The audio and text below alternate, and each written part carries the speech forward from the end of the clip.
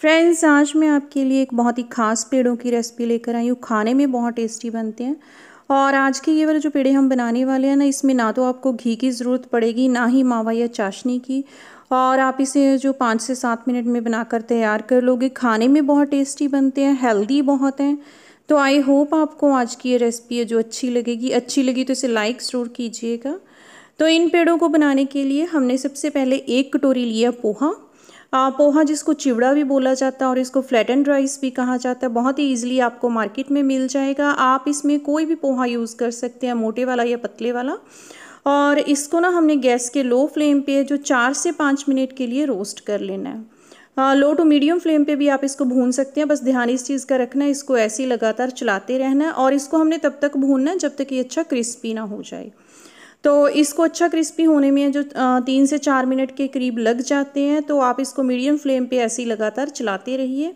तो अभी ये देखिए चार मिनट के करीब ही हुए हैं और पोहा अच्छा क्रिस्पी हो चुका है। इसको हम ना तोड़ कर देखेंगे। आपने इस तरह से हाथों से तोड़ कर देखना। अगर आपको पता चले ना बहुत ईजिली टूट रहा है अच्छा क्रिस्प हो रहा है इसमें तो आपने गैस का फ्लेम है जो बंद कर देना। इसके बाद हम इसको ठंडा करके पीस लेंगे।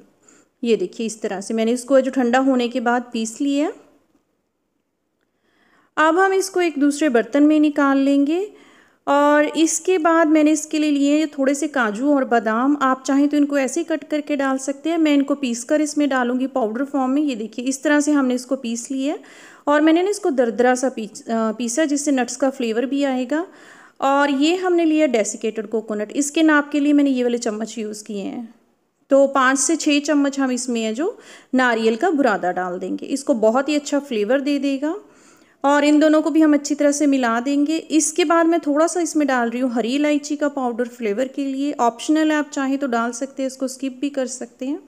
और ये हमने जो ड्राई फ्रूट्स पीस कर रखे थे ना, वो इसमें डाल देंगे। आप चाहें तो इसमें पिस्ता ऐड कर सकते हैं, किशमिश ऐड कर सकते हैं, जो भी ड्राई फ्रूट्स आपको पसंद हो, वो आप इसमें डाल सकते हैं। तो इनको भी हम अच्छी तरह से मिला देंगे। अब मैं इसमें डाल रही हूँ गुड़ पाउडर। आधी कटोरी से ये कम है।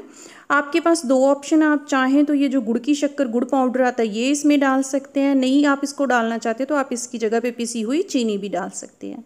मीठा आप इसमें कम या ज़्यादा कर सकते हैं तो इसको भी हम अच्छी तरह से इसमें मिला देंगे। अब मैं इसमें जो बाइंडिंग के लिए भी आपके पास दो ऑप्शंस हैं। आप चाहें तो इसमें जो देसी घी डाल सकते हैं, घी को आपने पहले गरम कर लेना। गरम किया हुआ घी इसमें डालना है। आ, अगर आप किसी वजह से घी इसमें नहीं डालना चाहते ना तो फिर आप इसकी जगह पे इसको है जो दूध से भी बना सकते हैं। तो जैसे भी आपको अच्छा लगे आप इसको चाहें तो देसी घी से बना लीजिए नहीं तो फिर आप इसको ऐसे दूध से बना सकते हो। तो दूध भी इसके लिए हमने गर्म यूज़ करना ठंडा दूध नहीं हमने लेना। और ये जो दूध है हल्का गर्म है और थोड़ा थोड़ा करके हम इसमें डालते जाएँगे और इसको अच्छी तरह से मिलाते जाएँगे। दूध हमने इसमें उतना ही डालना है जिससे इसकी बाइंडिंग अच्छी तरह से आ जाए। और अभी ना मुझे मैंने इसका थोड़ा सा मीठा चेक किया तो मुझे थोड़ा कम लगा तो मैं एक से दो चम्मच जो गुड़ की शक्कर है वो इसमें और डाल रही हूँ। इसको भी हम साथ में मिला देंगे। आप इस टाइम पे ना इसका मीठा चेक कर सकते हैं। अगर आपको कम लगे तो आप इसमें थोड़ा ज़्यादा भी ऐड कर सकते हैं। तो अभी हम इसको ऐसे ही हाथों से अच्छी तरह से मिलाएँगे और तब तक हमने इसमें दूध डालना है। जब तक इसकी बाइंडिंग ना होने लग जाए या इकट्ठा ना होने लग जाए। तो ये देखिए अगर हम इसको ऐसे हाथों में ये देखिए बाँध कर देखते हैं ना तो ये बाइंडिंग इसकी हो रही है तो अब हम इसमें और दूध नहीं डालेंगे और इसके इस तरह से पेड़े बना लेंगे। आप जिस भी शेप में चाहें, छोटे या बड़े, इसके पेड़े बना सकते हैं। ये एक पेड़ा मैंने बना ली है और ये देखिए लुक इनकी कितनी प्यारी आ रही है और गुड़ की वजह से बहुत ही प्यारा सा कलर आ गया है। और ये ऊपर मैंने थोड़े से लगा दिए इसके पिस्ता। इसी तरह से हम बाकी सारे जो पेड़े हैं, वो भी बनाकर तैयार कर लेंगे। तोड़कर आपको टेक्सचर दिखाती हूँ। ये देखिए, बिल्कुल मावा जैसे और बहुत ही सॉफ्ट ये वाले पेड़े हैं जो बनकर तैयार होते हैं। अगर आपने इनको घी से बनाया तो आप इनको 10 से 12 दिन के लिए स्टोर कर सकते हैं और अगर आपने इनको दूध से बनाया तो पाँच से सात दिन के लिए आप इनको जो फ्रिज में रख कर स्टोर कर सकते हैं। एक एयर टाइट कंटेनर में आपने इनको जो बंद करके फ्रिज में रख देना है। तो आई होप आपको आज की ये रेसिपी अच्छी लगी होगी। जल्दी हम लोग मिलेंगे एक और नई वीडियो के साथ। तब तक के लिए बाय टेक